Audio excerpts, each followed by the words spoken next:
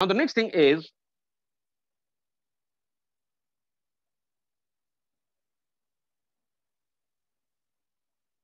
what is called a baggage.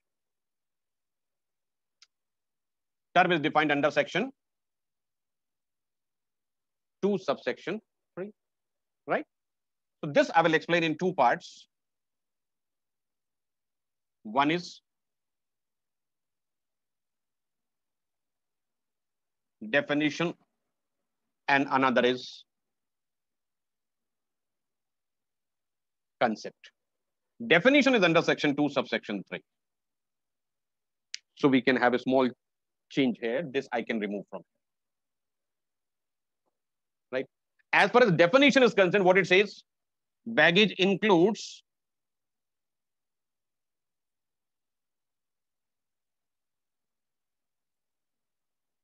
unaccompanied baggage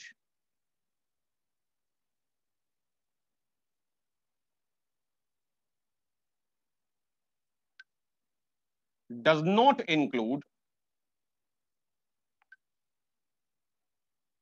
motor vehicles. This is the definition that we have seen, right? I'll show you the definition once again.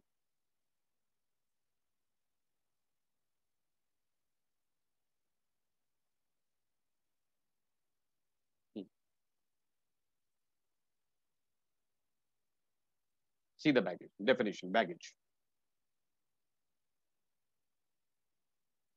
includes unaccompanied baggage does not include motor vehicles. Okay, this does not clarify anything. I will explain. Now, as far as concept is concerned, the concept will make you understand what is the meaning of the term baggage, right? So baggage means these are belongings of a passenger. So if there is a passenger only then there is a concept of baggage. Same goods being imported or exported without a passenger will, be, will not be treated as the baggage. And if those are being brought along with the passenger or these are belonging to a passenger, these are referred as baggage. What is the difference?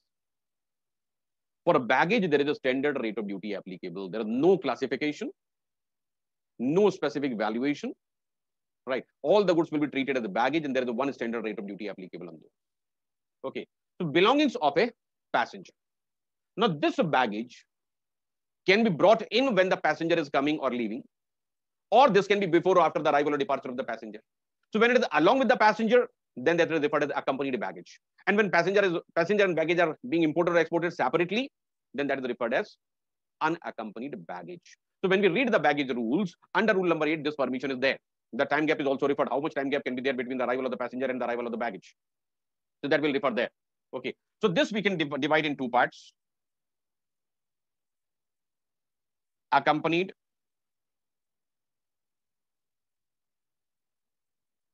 and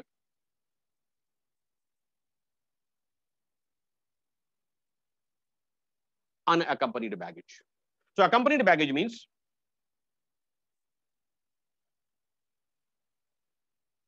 baggage and passenger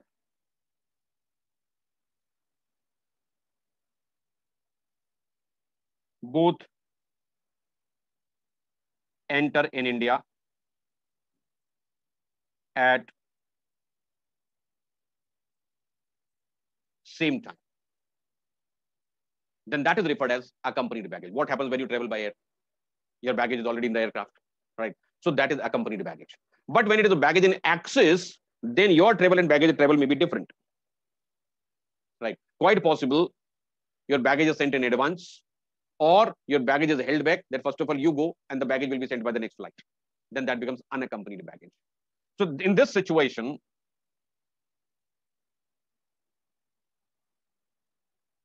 the passenger and his baggage enter in India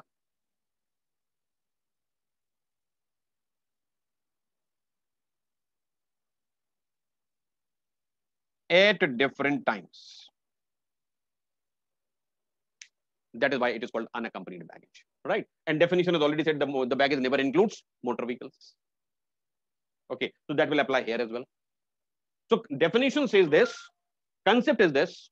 So the concept of baggage is there only when the passenger is there. If the passenger is not there, there is no baggage. Same goods brought in India otherwise will be treated as commercial goods. Those will be classified, those will be valued, those will be assessed separately. But when those are brought in as a baggage, then there is no classification. All the goods are in one category only that it is a baggage. So that those may be garments, those may be textile, those may be electronic, those may be anything. Right those will be treated as baggage. No classification, all the goods are in one classification only. But when those are brought in otherwise then as a baggage, every goods will be classified separately, valued separately, then rate of duty will also be independent. That is the difference between the baggage and goods being imported as other goods. Now I'll give you another thing for the term of baggage. Have you drawn this? Yes, sir. Yes, sir. Yes, sir.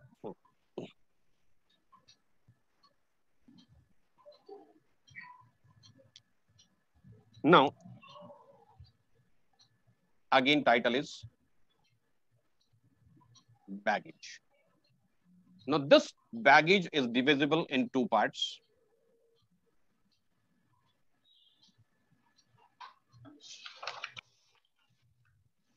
Bona fide and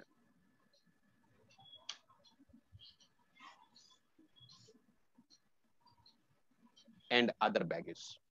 What is bona fide baggage? articles already in use for certain minimum period. And under section 79,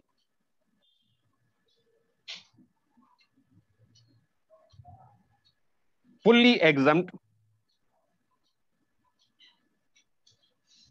from duty.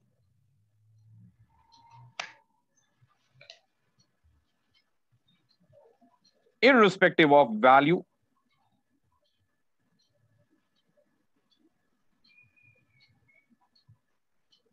and quantity. Bona fide baggage means what? Articles already in use for a certain minimum period.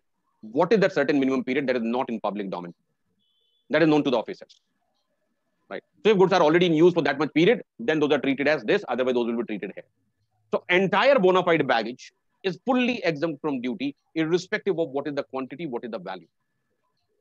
So when NRIs shift to India from outside India, and their entire household goods are there, no duty on that.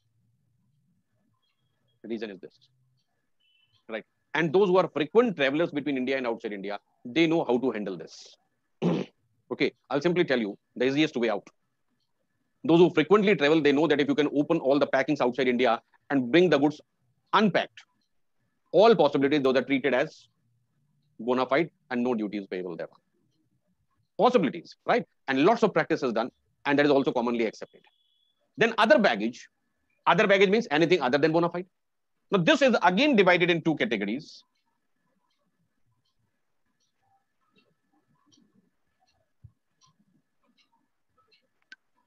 So, first is exempt. And then comes dutiable. So this is fully exempt. In addition to that, there is some exemption in other baggage also. So this is also under section 79.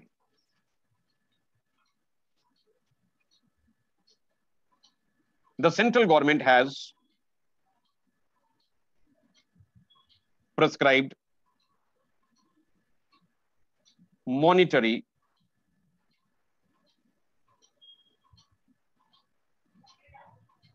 exemption limits bona fide, fully exempt. Other than bona fide, government has prescribed monetary limits for exemption. Right. So this is exempt. This is also exempt. Now this limit is monetary. If the value is exceeding that monetary limit, duty will become payable only on that excess portion. So baggage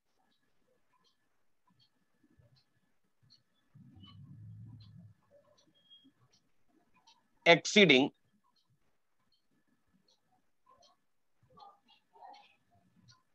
exemption limit that will be dutiable and on this duty is at the rate of 35%.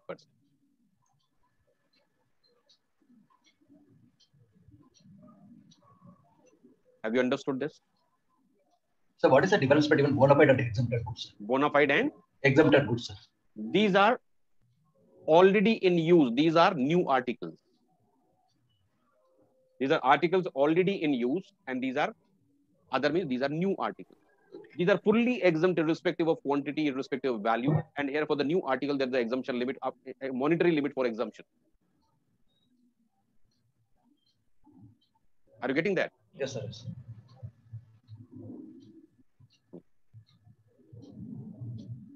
Duty free items will be exempt. No. Duty free items will be taken into this limit. Right? But in general, nobody takes care of that. So whatever you buy from duty free, generally what, what is bought from the duty free shops? What is purchased?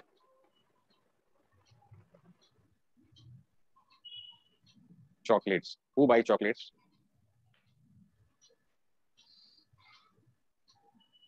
Your hubby, chocolates. He's a baby. What else he buys other with the chocolates? Yes, for the kids. What he buys for himself?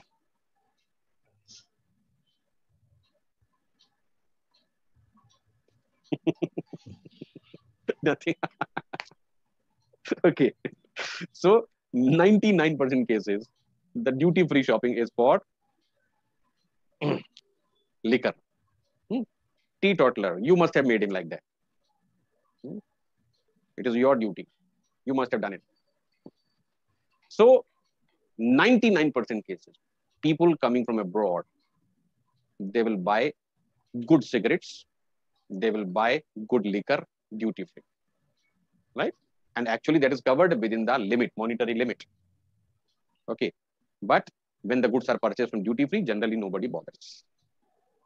Okay. And the exemption limits are also quite high. When we read when we read the rules, baggage rules, you will find that as such, no problems for buying the goods from duty free shops. So this was all the basic about what we refer as applicability of customs.